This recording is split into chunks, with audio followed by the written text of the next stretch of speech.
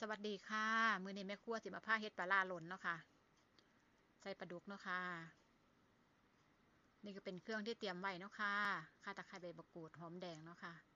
กระไส้หั่นพริกขี้หนูสดเนาะค่ะ พริกหยวกต้นหอมเนาะค่ะ วิธีทำเลยเนาะค่ะ ตั้งหม้อให้เดือดเนาะค่ะ ใส่เครื่องลงไปเนาะค่ะ ข่าตะไคร้ใบมะกรูดค่ะ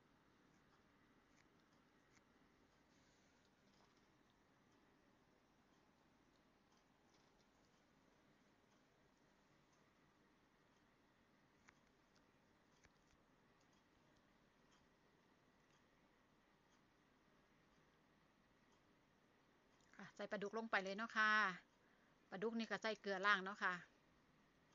ล่างตามน้ำเนาะค่ะ ให้สะอาดค่ะ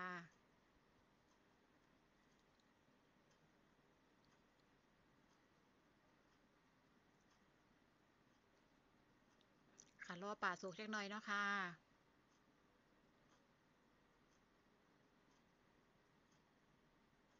ค่ะใส่กระไส้ลงไปเลยเนาะค่ะกระ ไส้นี่ก็ทุบบุบๆเนาะค่ะ แล้วก็หั่นเป็นท่อนเนาะค่ะ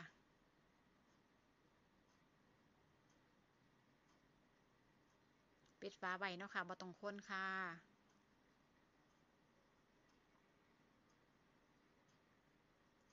ค่ะป่าสุกเลยเนาะค่ะ จะเติมน้ำปลาเนาะค่ะ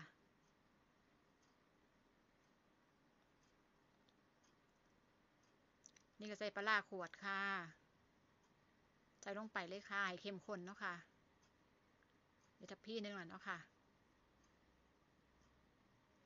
ค่ะบ่พ่อก็เติมได้เนาะค่ะ ค่ะแม่ครัวก็มาเข้มข้นค่ะ ใส่สองทับพี่เนาะค่ะ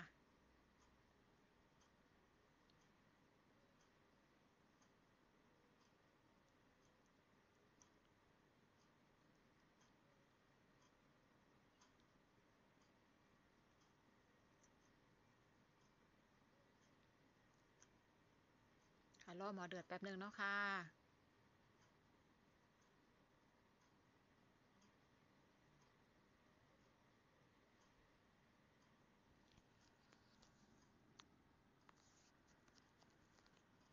ค่ะใส่จะรสลงไปเนาะค่ะ ใส่ส่วนซ่าเนาะค่ะ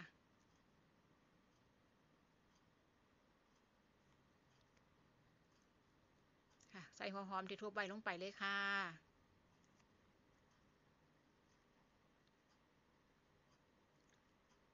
ริกหยวกเนาะค่ะ หั่นลงไปเลยค่ะพริกขี้หนูเนาะค่ะเฮ็ดเป็นลูกโดดค่ะนำมะขามเปียกเนาะค่ะ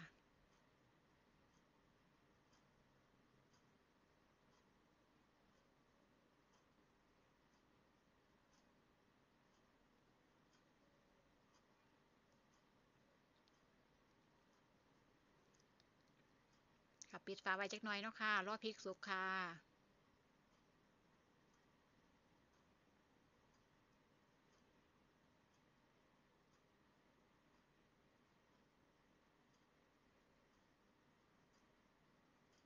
ค่ะสุกได้ที่แล้วเนาะค่ะ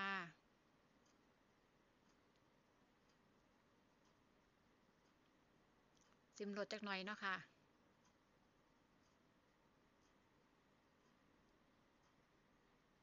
ปิดแก๊สเนาะค่ะ ใส่ต้นหอมลงไปเลยค่ะโรยหนาเนาะค่ะ กินกับข้าวสวยห่อนๆค่ะพี่น้องพักแก้มเนาะค่ะ ขอบคุณทุกกำลังใจค่ะ เดี๋ยวขอมารับส้มค่ะ